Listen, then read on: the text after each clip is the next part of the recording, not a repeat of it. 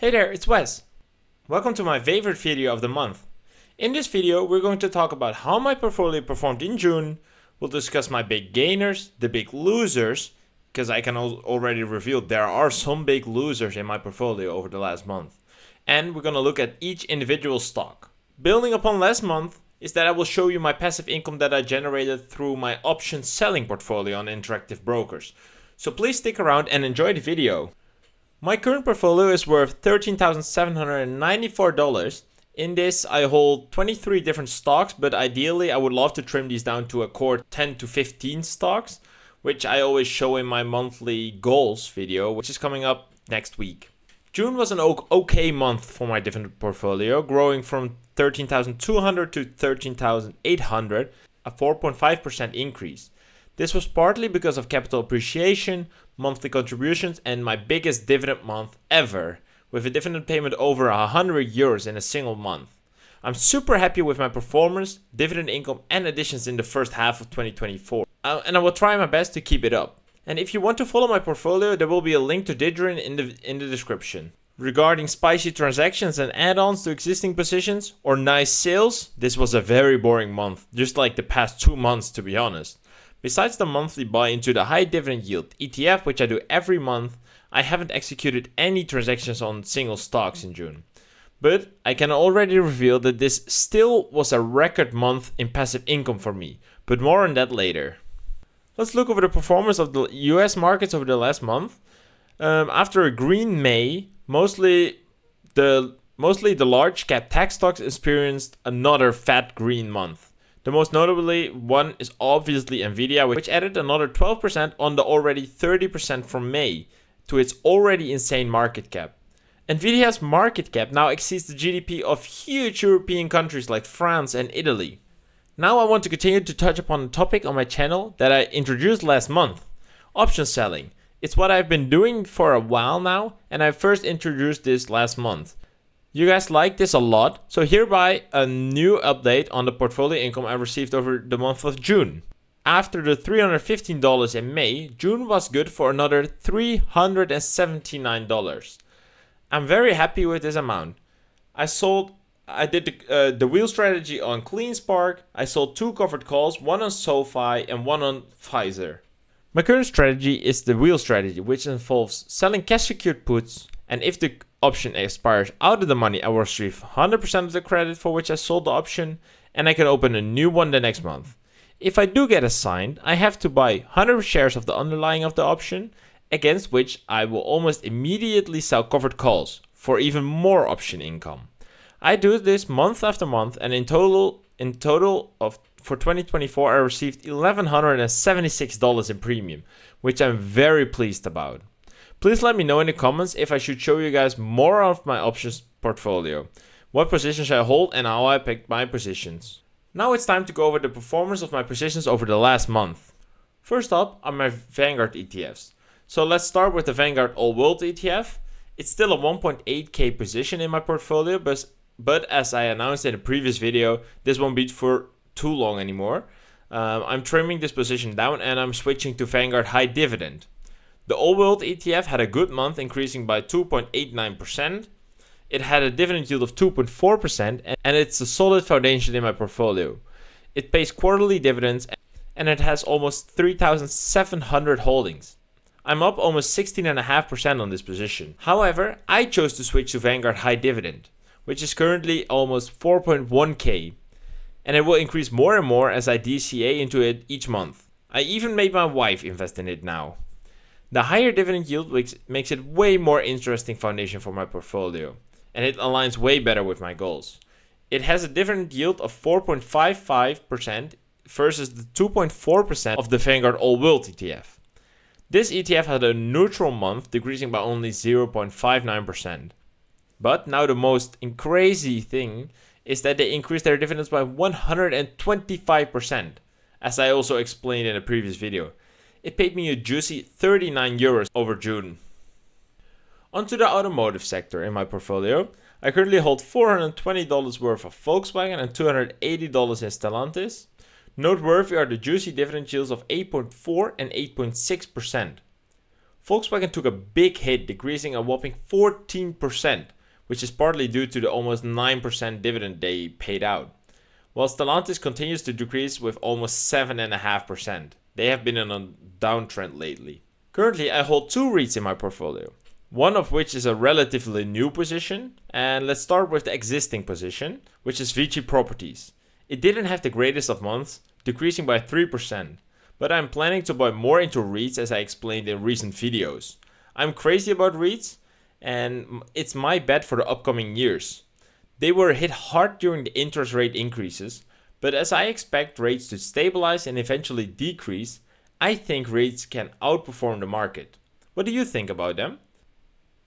Besides this, REITs have also great dividends. My other position is Arbor Realty Trust, and I'm very happy as this adds a lot of dividend and growth to my portfolio. Arbor had a relatively neutral month, moving only 7 basis points over the last month.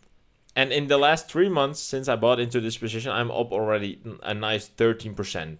So technical analysis and patience really pay off, guys. Let's move on to the more safe stocks, so the consumer non-cyclicals.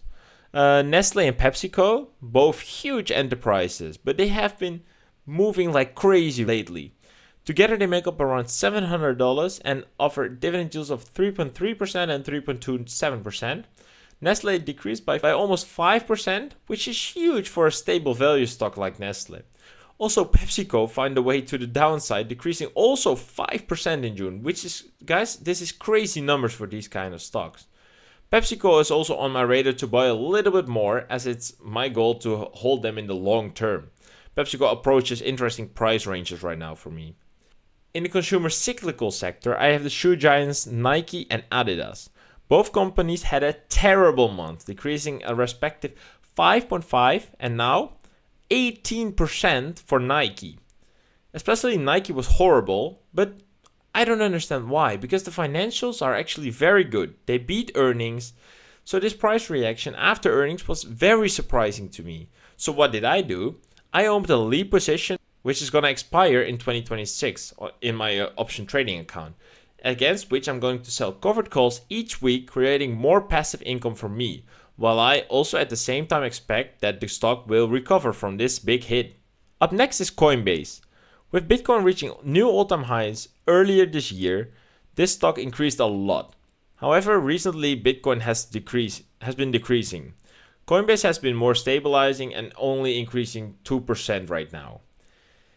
It is currently worth $218 in my portfolio and I'm up a whopping 280%. I'm very proud of this, and the cost basis for my position in, in Coinbase is even negative. So even if the company would bankrupt right now, I would have still made a nice profit from the already from the shares I already sold. I have a little Dutch bias in my portfolio with PostNL and NN Group, two stocks I've held since the beginning of my dividend journey. PostNL is a postal service company like DHL and UPS. NN Group is an insurer. Both have very nice and juicy dividends, but PostNL has been in a long-term downtrend, decreasing 8% over the last month. Together they make up around $700 and that's about around 5% of my portfolio. A little American tag is good for everyone's portfolio. I'm very happy to have bought into Oracle. It has a great dividend growth rate of 11%, outpacing inflation by far. This is a, definitely a long-term hold for me, and price-wise, it increased almost 20% over the last month. A record month for, for me in this stock. I'm up around 35% in the last three months. In March, I also bought into United Health Group. It is sitting at $464 and it currently has a yield of over 1.5%. But with dividend growth rate over 13%, it will double its dividends every 5 years. This is what I love about dividend investing. Another new position I opened in April is Texas Instruments. I recently made a video about why I really like this stock, so be sure to check that out. Part of why I like it is its 17% dividend growth. I'm up already like 10% on this position, so my patience really paid off, and using technical analysis really helped me to buy Texas Instruments at a good price. Then there are the long-term holdings and the high dividend payers in the tobacco industry. With Altria and Philip Morris, I have the two tobacco giants. I'm only missing British American tobacco to be honest, but I don't know if I'm gonna add it because I don't want to fo- concentrate too much on the tobacco industry.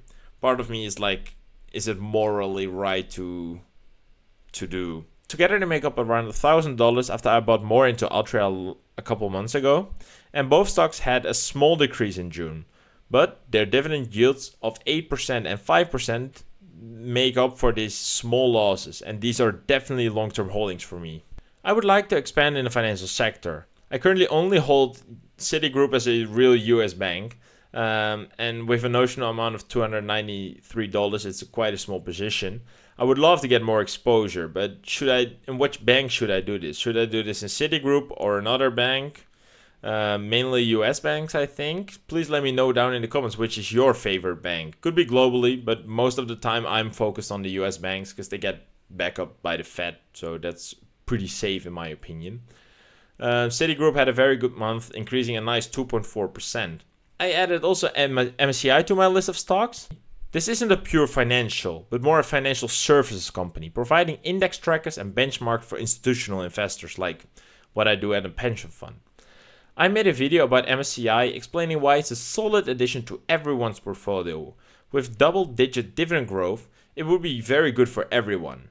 MSCI experienced a small decrease of 2.3% in June, uh, but so far all my recent buys from March and April have been performing amazing. So if you follow my dividend journey, you know I had a lot of these stocks on my radar for so long, but in my opinion, they were always too expensive. But then April and March and May happened, and a lot of these stocks decreased finally significantly. And my buy my buy my, my standing buy orders got hit. And now a couple months later, I can harvest the first double-digit profits if I would were to sell them, which I'm obviously not because I am a long-term dividend growth investor. So I'm gonna make their dividends and profits compound in my portfolio.